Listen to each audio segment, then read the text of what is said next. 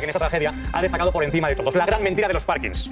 Decía la leyenda, porque era eso todo leyenda, que los parkings estaban repletos, abarrotados, llenos de cadáveres. Hasta 800 cuerpos llegaron a decir algunos. Y afortunadamente éramos muchos los periodistas serios también que estábamos sobre el lugar de los hechos, que acudíamos a verificar esos datos y que ofrecíamos simplemente la verdad. Otros no, directamente inventaban historias y no contrastaban con nadie. Otros malhechores, porque he dicho otros puede, puede interpretarse que está hablando de periodistas, no, otros malhechores, que son eh, Bertrand Tendongo, eh, la playa de, de- de- de colaboradores de Iker Jiménez. de, Nacho, por favor, este si tienes momento. información, nos comunicas, por favor, Han, Nacho. ¿eh? han, Está eh, ocurriendo ahora. han iniciado la inspección de vehículos y aseguran que en los primeros 10 coches inspeccionados no hay ninguna víctima. Por favor, Nacho, si sabes algo, si alguien puede decirte algo, si alguien sabe algo, comunícanos. Bueno, vamos a ver lo de Iker Jiménez, que hizo una cronología de lo de Bonaire.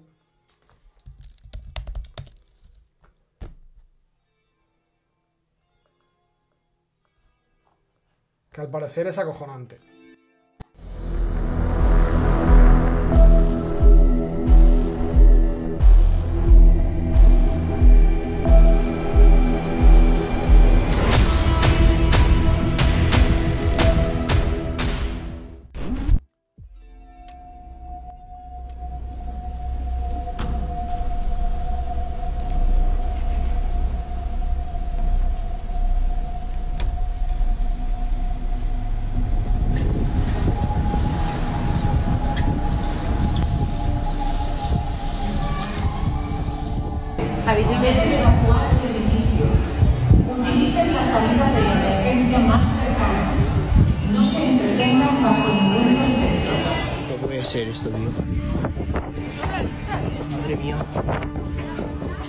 Esto es lo que ha hecho Iker Jiménez para retratar a todos estos que están diciendo desde la izquierda que los bulos de Iker Jiménez, que es lo del parking de Bonaire, para explicar que él sí se equivocó, que confió en ciertas fuentes y que la información no era, no era veraz, pero que no ha sido el único ni ha sido el primero. De hecho, los que le están poniendo en la diana son algunos de los que estaban publicando eso.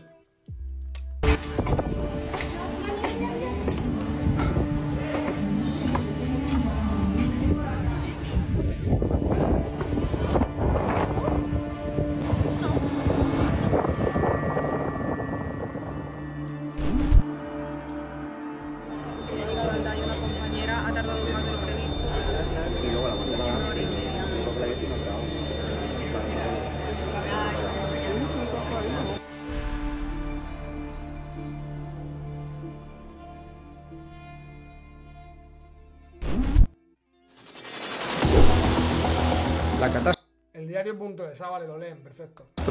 en el parking de un centro comercial de Aldaya. El aparcamiento subterráneo se convirtió en una trampa mortal. Un parking en el país valencià inundado hasta la superficie. Es un cementerio. El parking de Bonaire podría esconder más víctimas mortales tras la dana. Muchos bajaron a salvar su coche. ¿Es un cementerio? Preocupación máxima en el parking del centro comercial de Bonaire. Esta noticia fue eliminada posteriormente. La UME ha hallado ya varios cadáveres en el interior del aparcamiento. La cantidad de fallecidos es, por ahora, incalculable.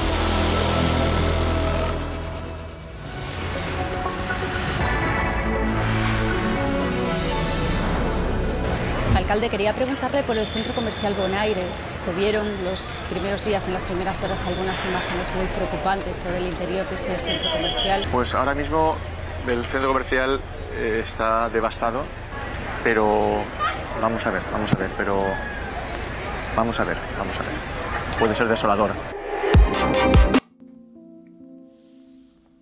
Para que veáis. Y acaba de empezar la cronología. Cementerio, cementerio, puede ser una tragedia, puede ser una masacre, cementerio, cementerio, puede ser desolador, ha dicho, ¿no? Algunos medios, publicando esto del cementerio de Bonaire, luego lo dice Iker Jiménez, y cuando ya se sabe que no hay cementerio porque han dicho que no hay muertos, que uno ya no sabe qué pensar, honestamente lo siento mucho, ¿eh? pero yo ya eh, no me fío de nada los medios que ya han visto que es mentira borran la noticia y señalan a Iker Jiménez. Que es que es la hostia. Que es que la propia Ana Pastor, Ana Pastor, la verificadora de bulos, ella misma ponía que puede ser un cementerio en un tuit. Pero luego sale acusando a Iker Jiménez en Twitter. Es como si tú tiras piedras a la casa de un tipo porque te han dicho que ahí vive un criminal y cuando se descubre que te informan de que ahí no vive un criminal, que se han confundido de casa y que vive un señor mayor, tú dejas de tirar piedras porque ya te has enterado y mientras otro sigue tirando piedras porque ese todavía no lo sabe, dices, mira, está tirando piedras a un señor mayor, pero no era que era el criminal que vive aquí. Sí, pero no, ya no. No, ves, es que no te informas y a ti te acaban de informar. Ese es el nivel de esta gente. Por eso digo, y por eso le decía ayer a esta señora del PP, la presidenta de la Comisión de Investigación, a Begoña Gómez, que es bochornoso ver con su actitud o a través de esa actitud que no saben a quién tienen delante. Ni en la prensa ni en la política. Muchísima preocupación por la situación en el parking de un centro comercial llamado Bonaire que está en la localidad valenciana de Aldaya. Javier Bastida, trabajan sin descanso para retirar el agua. El aparcamiento se había convertido en una auténtica trampa mortal. La UME ya ha entrado, eh, ha reconocido el terreno y le hemos preguntado sobre la posibilidad de encontrar eh, a gente eh, o cuántos cadáveres puede haber en el interior. Nos dicen, nos hablan de una cifra indeterminada. No nos dan ninguna cifra. Lo que están haciendo ahora mismo, después de entrar, de visualizar y de ver algunos cadáveres, es anotarlo, decir eh, y esperar hasta la orden judicial para poder moverlos y comenzar a sacar todo el agua. Una de esas ratoneras, uno de esos puntos negros, es un gran parking, un gran aparcamiento subterráneo del mayor centro comercial de Valencia que a esa hora estaba lleno de gente. Ahí está Javier Bastida. Javier, y las labores continúan. Esta mañana los buzos han estado, han entrado eh, dentro de ese parking, de esa zona cero del centro comercial de Bonaire. Se convirtió en una auténtica ratonera, el agua llegó muy rápido. Lo que más pena nos sigue dando es que eh, no había posibilidad de sobrevivir, no había ninguna bolsa de aire para que pudiera eh, salvarse alguien. Lo que más pena nos da, que es para hacer la cronología, pero además con las fuentes. Es decir, oye, ¿quién informó a la sexta en ese momento? Se puede investigar quién fue el que informó a la sexta y habló con el de la sexta para ver si el tipo puede decir que yo no le dije al de la sexta nada de eso. Iker Jiménez ya dice que sus fuentes sí le dijeron eso, porque a lo mejor habían hablado con los mismos o con los de la sexta. Pero es que estos ya salen diciendo, es una pena, la pena es que nadie ha podido sobrevivir porque no haya ninguna bolsa de aire. ¿Quién le ha dado esa información? Porque yo imagino que vende mucho más eso que otra vez barro, lodazal, el barro, el lodazal. De hecho, Bonaire fue tendencia en Twitter durante muchísimo tiempo.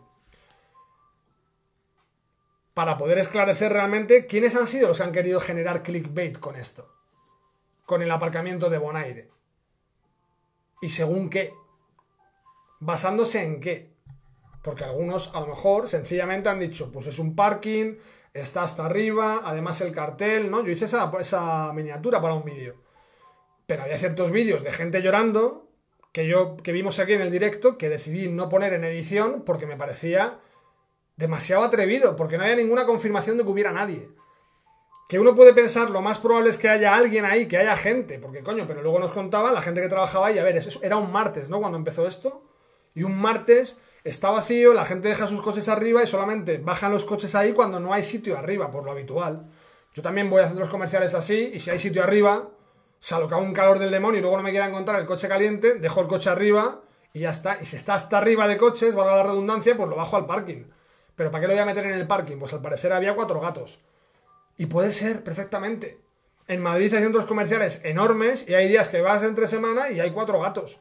Y hay cuatro coches. Entonces preferí, pues no compartir unos vídeos de madre mía, que sí, que he hablado con no sé quién, que esto es una locura, que no sé qué y que no sé cuál. Porque ya empieza a tener un poco más de sentido aquello que dijo el rey a un chaval que fue hay mucha desinformación o algo así, solamente creed lo que ven vuestros ojos y no os hagáis caso de todas las informaciones que estáis escuchando. Que yo dije, coño, si están sobre el terreno, a lo mejor no tiene que contarle usted, su majestad, lo que están viendo sus ojos, pero a lo mejor el tipo, a lo mejor Felipe VI se refería a a otras cosas, a otras cosas. Pero Bonaire estuvo movido de de plató en plató, de directo en directo y de tertulia en tertulia.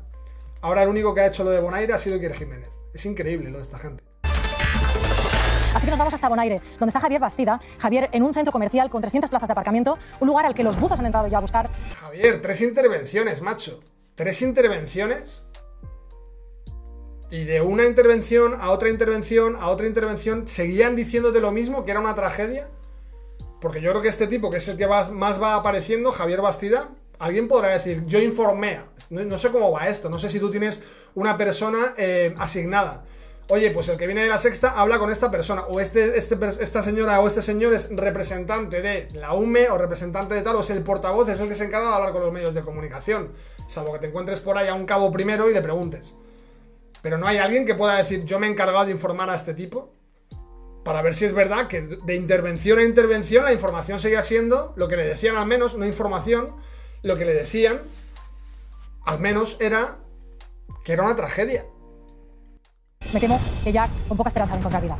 Eh, el agua salió, el agua desbordó. Eso significa que no hay bolsas de aire que nos hagan ver pues, una pequeña esperanza de que alguien haya podido sobrevivir y que se encuentre en estos momentos en esta zona. Y las caras de los bomberos de la UME que salían no eran o no pronostican que lo que nos vayamos a encontrar en los próximos días para Es que este tipo de cosas, las caras de la UME, este tipo de asuntos ya, las caras de los bomberos de la UME no pronostican que lo que nos vayamos a encontrar. ¿Tú cómo coño quieres salir de ahí, amigo?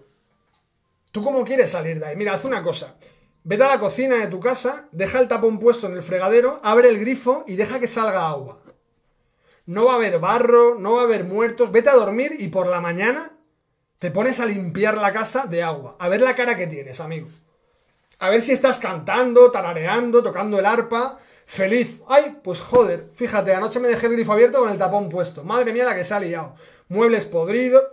A ver qué cara tienes tú. Pues qué cara quieres que tengan, gilipollas. Si están en un parking con agua hasta arriba y saben lo que acaba de pasar en todos los alrededores.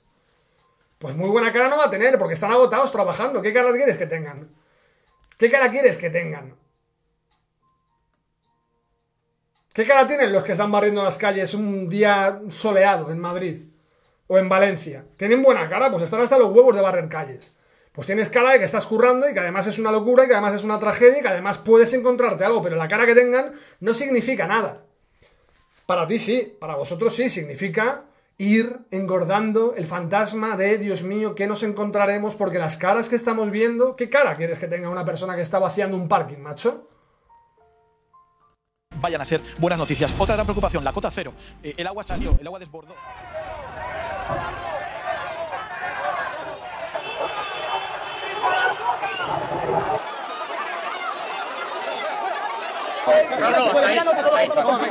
No hagáis caso, no hagáis caso a todo lo que se publica porque hay mucha intoxicación.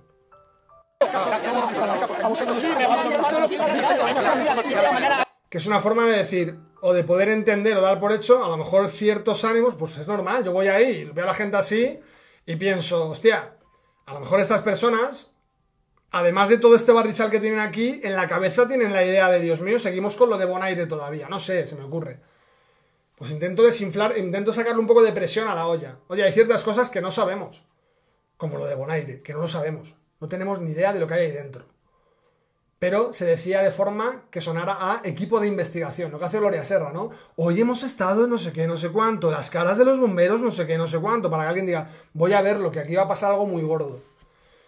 Y jugáis con el morbo, todos jugáis con el morbo constantemente, todos, y cuando digo todos, lamentablemente son todos, si no, mirad OK Diario, Eduardo, para unas cosas muy bien, para meterte con la Agenda 2030, muy bien, pero luego para estar con los locos del clima, con los Mario Picazos de la vida y tal, en OK Diario todos los días, tiene que haber buen dinerito.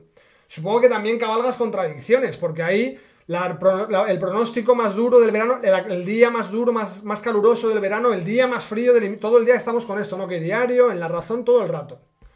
Cuando vais con Federico sois muy anti-Agenda 2030, pero luego en vuestros diarios, todo el santo día, de hecho Federico os lo hizo alguna vez a la cara, estáis con la emergencia climática. Si aquí el dinero manda. ¿Para qué? Para que haya caos.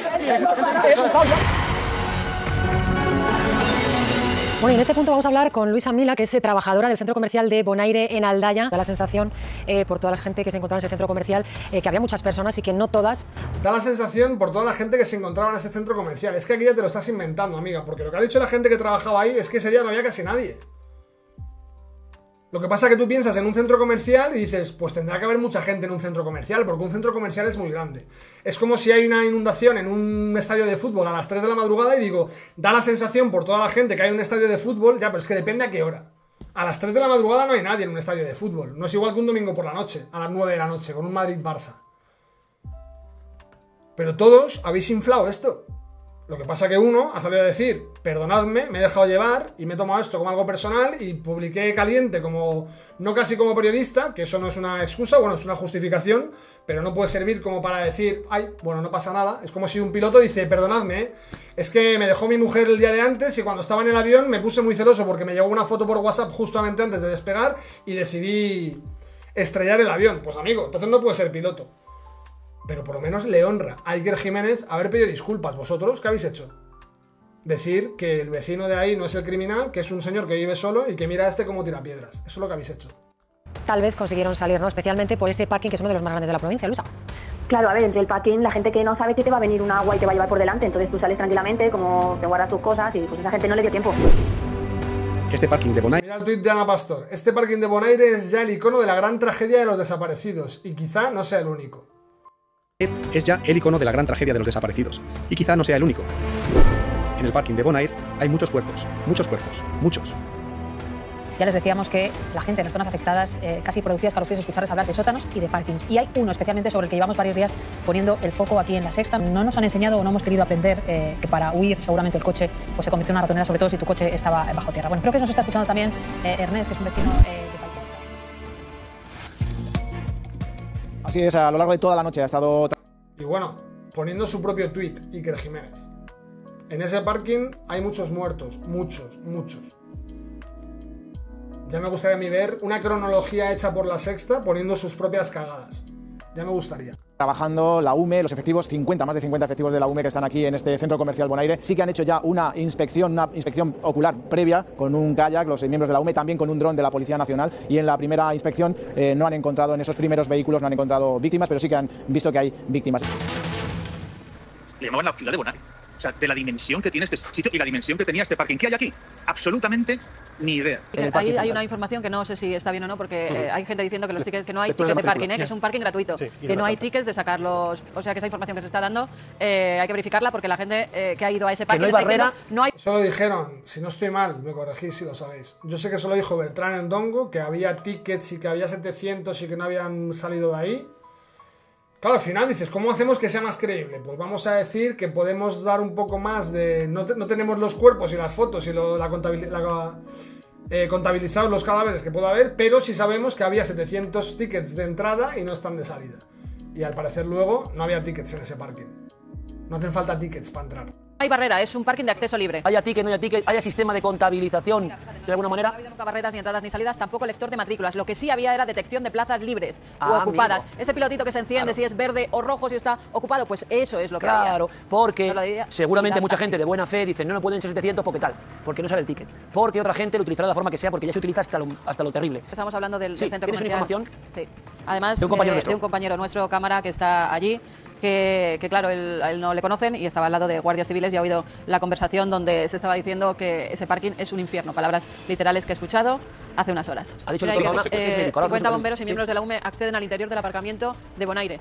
Están accediendo Ahora, ahora. Es una momento. información de. Nacho, de por favor, este si tienes momento. información, nos comunicas, por favor, Han- Nacho. ¿eh? han, Está eh, ocurriendo ahora. Han iniciado la inspección de vehículos y aseguran que en los primeros 10 coches inspeccionados no hay ninguna víctima. Por favor, Nacho, si sabes algo, si alguien puede decirte algo, si alguien sabe algo, comunícanos. Y claro, tu cabeza lo que recibe es, ya, ya, pero en 10 coches, pero es que como es un parking tan grande, que nos han dicho 50 veces que es un parking enorme, que es un parking enorme, y lo que tu cabeza piensa cuando piensa en parking, valga la redundancia con el pensar de las pelotas, es parking, pues uno piensa en un parking. Y tu cabeza lo que ve es un parking lleno de coches. Automáticamente, porque como te están hablando de tragedia, de cementerio y de todo esto, cuando te hablan de parking, tu cabeza rellena el parking de coches, porque te están hablando de tragedia.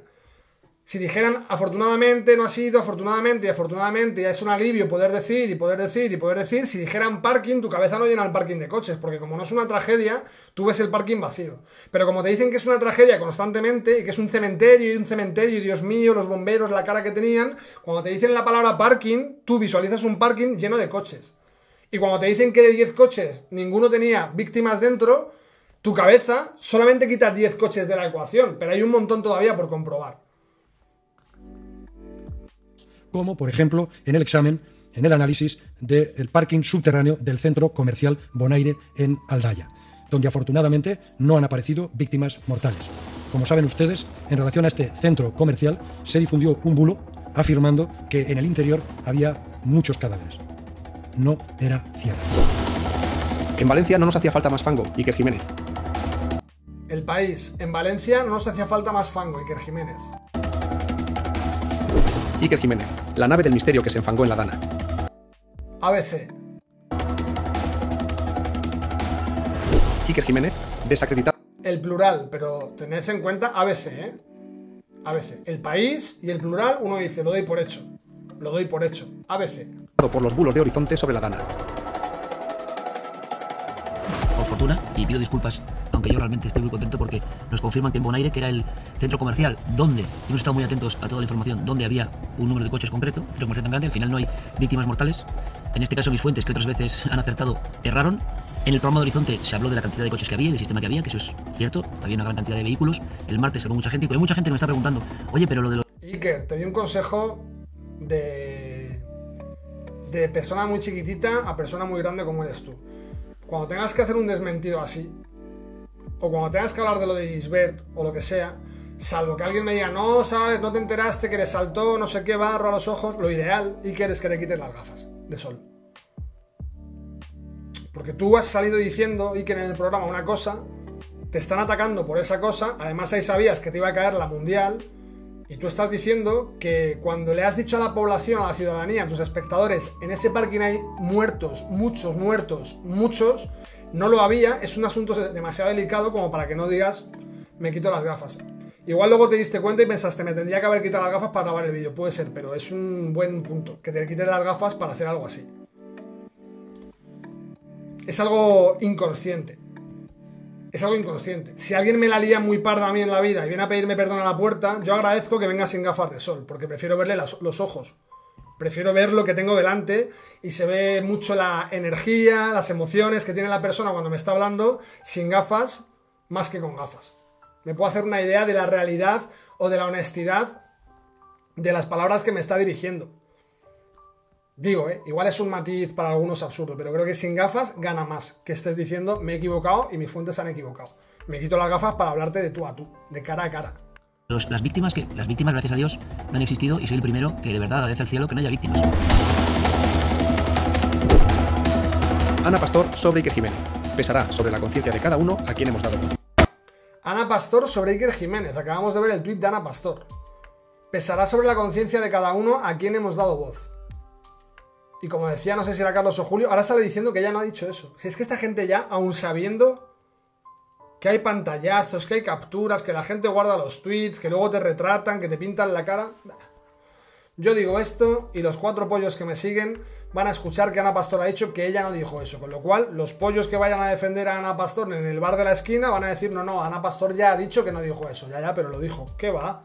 No lo ha dicho. Lo ha dicho Ana Pastor que no lo ha dicho. Ana Pastor sobre Iker Jiménez.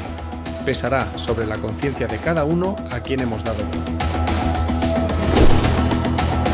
El horror de la Dana y el fantasma de Iker Jiménez. Internet ya no es el único reducto en el que anidan los bulos que han llegado a los programas de prime time En otras ocasiones los bulos llegan de la mano de gente que finge estar informada. Hay personas que se consideran a sí mismos periodistas y que después de años buscando ovnis, pues quizá deberían empezar a buscar otras cosas que tampoco existen, como su rigor y su honestidad. El Gran Wyoming le da a Iker Jiménez donde más le duele sin ni siquiera pronunciar su nombre. Hombre, a ver. El plural queriendo ser sutil o queriendo exaltar la sutileza del Gran Wyoming algunos que se han pasado años hablando de ovnis sin decir su nombre. Hombre, es como si yo digo, algunas que ahora van a cobrar 100.000 al año y que venían de estar soltando el bulo de los dos DNI del juez peinado, Saúl Fernández habla, le da donde más le duele a Angélica Rubio sin decir su nombre. Hombre, por el amor de Dios. Sois cutres hasta para eso. No os hace ni falta intentar dejar al Gran Wyoming como un tipo sutil que sin mencionar el nombre de Iker Jiménez ha sido capaz de meterte, de inocularte la imagen en la cara de Iker Jiménez. Te habla de los ovnis y uno dice, mm, ah, coño, claro, qué cabrón. Al decir el de los ovnis, se refiere a Iker Jiménez. Porque si a ti te cogen ahora por la calle y te dicen, oye, ¿me puedes decir por 100.000 euros 10 personas que vincules con ovnis en España. Pues tú tienes un montón. Tú dices, ostras, madre mía, te puedo decir 20 y me das... He dicho 100.000, me das 200.000. Te puedo decir el doble, es que se me ocurren muchos. ¿Vinculados con ovnis en España? Así, hay un montón. Iker Jiménez. Y Carmen Porter, puedes decir que es su mujer. Sois de un mediocre, sois de un mediocre y de un lustrabotas, además de manera endogámica, ya ni siquiera con los poderosos, entre vosotros mismos. El gran Wyoming es sutil, porque sin decir el nombre de Iker Jiménez, le llama el de los ovnis, pero ni idea. Hemos tardado aquí en la redacción 20 minutos en atar. Hemos hecho como las, en las películas, ¿no? Que tienen la cara del asesino en el medio o la cara de las víctimas y tienen aquí un montón de hilos por todas partes a ver si consiguen descifrar si el asesino está ahí en esas caras o es otro que todavía no consta en el mapa. 20 minutos para saber quién es el de los ovnis. Muy sutil, Wyoming, muy sutil. Como tu humor, que es muy sutil. No es burdo, no es facilón, no es casposo, es sutil. Wy- Wyoming, sinónimo de sutileza. El Gran Wyoming señala a Iker Jiménez por sus bulos sobre la Dana. Deberían empezar a buscar cosas que tampoco existen, como su rigor o su honestidad. Sé que ustedes lo que quieren es que nosotros nos expliquemos. Y nosotros nos explicamos mirando a la cara. Yo estaba demasiado Y un periodista no puede estar demasiado indignado. Me había convertido en parte de todo esto. Había visto a la gente abandonada y quería ayudar. Y eso no es bueno. ¿Por qué? Porque pierde la objetividad. Iker Jiménez jamás ha dicho 700 víctimas, no les mientan. Iker Jiménez y su equipo jamás ha dicho que hubiera un enorme cementerio e Iker Jiménez comete el error indignado de que hace un tweet personal diciendo que cree que hay muchos cuerpos, que es lo que me están contando. Pido disculpas personalmente a toda la gente porque luego lo he pensado y he sido consciente de muchas cosas. A toda esa gente que a lo mejor estaba en el parking, que no piensa el periodista en eso y que a lo mejor no podía hablar con sus familiares y a lo mejor tenía el coche ahí y a lo mejor veía en horizonte y yo fui un poco irresponsable porque igual leyeron mi tweet. He aprendido la lección, no se preocupen. Intentaré ser mucho más escrupuloso. Total. Me parece el punto fundamental. Porque si no, con tanto ruido nos perdemos en.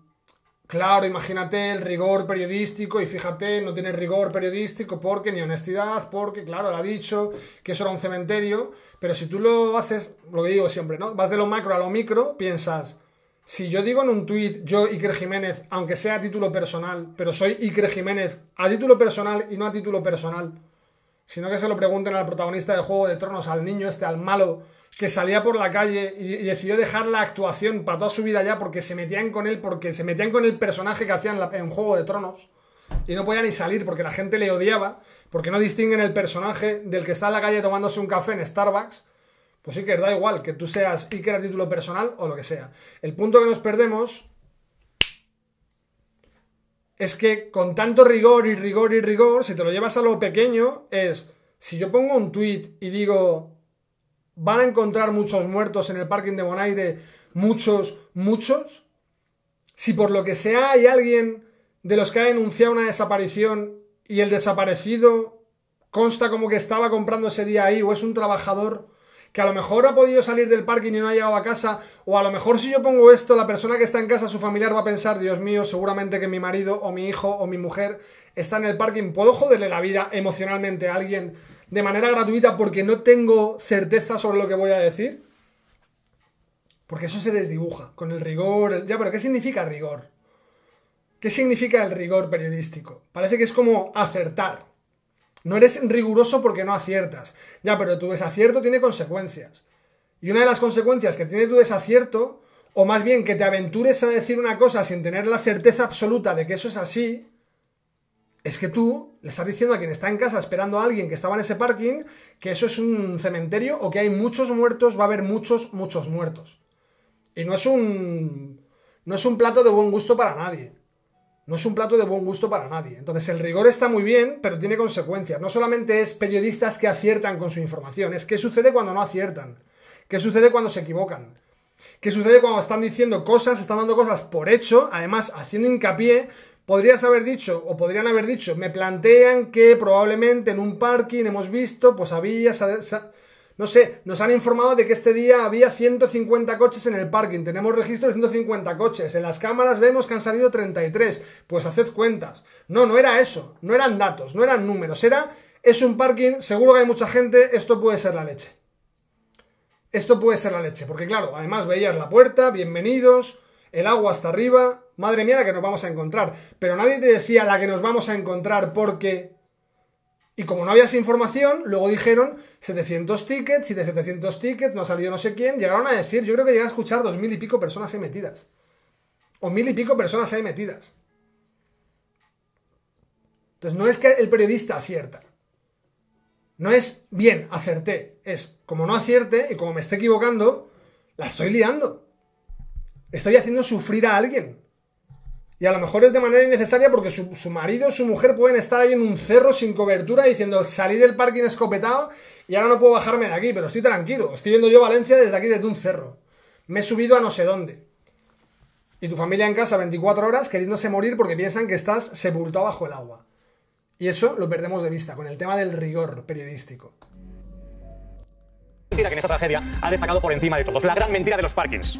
Decía la leyenda, porque era eso todo leyenda, que los parkings estaban repletos, abarrotados, llenos de cadáveres. Hasta 800 cuerpos llegaron a decir algunos. Y afortunadamente éramos muchos los periodistas serios también que estábamos sobre el lugar de los hechos, que acudíamos a verificar esos datos y que ofrecíamos simplemente la verdad. Otros no, directamente inventaban historias y no contrastaban con nadie. Otros malhechores, porque he dicho otros puede, puede interpretarse que está hablando de periodistas, no. Otros malhechores, que son eh, Bertrand Tendongo, eh, la playa de, de- de- de colaboradores de Iker Jiménez. Me dice, nos dice un cámara que la Guardia Civil ha dicho que el parking de Bonaire- escuchado a la Guardia que Civil, el que parking de Bonaire afirma. está lleno de, de- y eso lo, lo hizo Carmen Porter en el programa Horizonte. Pues eso es en directo y eso es el, la- el antiperiodismo. Lo haces a sabiendas que tú lo que buscas precisamente es un impacto emocional para ganar audiencia y eso es lo contrario a lo que tiene que ser el periodismo. A la mentira.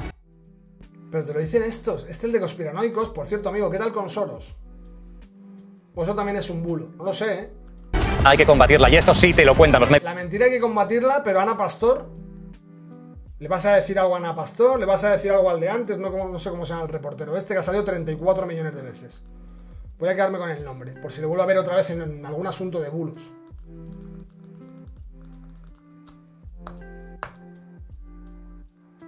Dios mío, para darle para atrás a esto.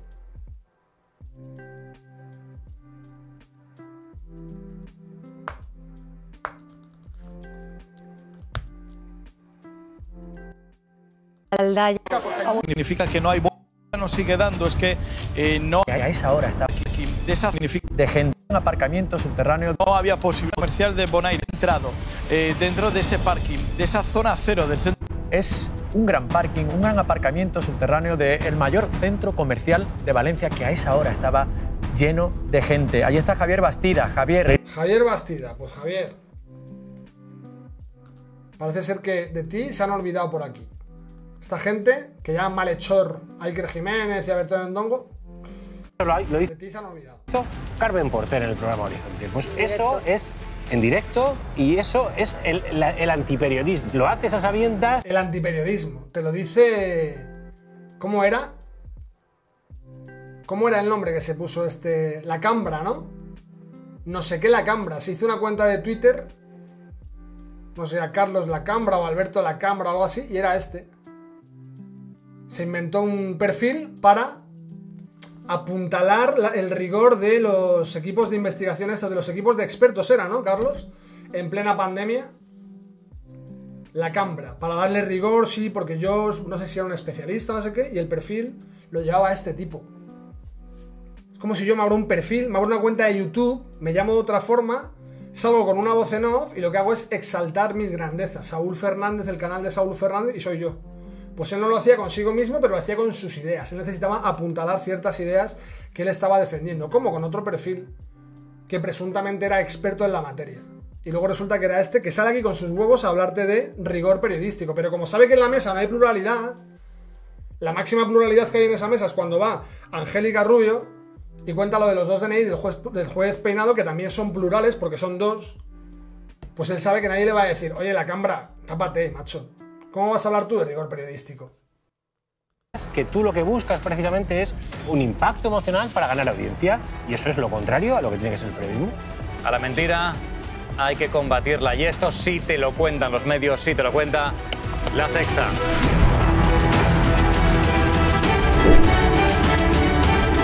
La Sexta Noticias también informó del bulo del parking de Bonaire, afirmando que la UME había visto cadáveres. Esta noticia fue eliminada posteriormente.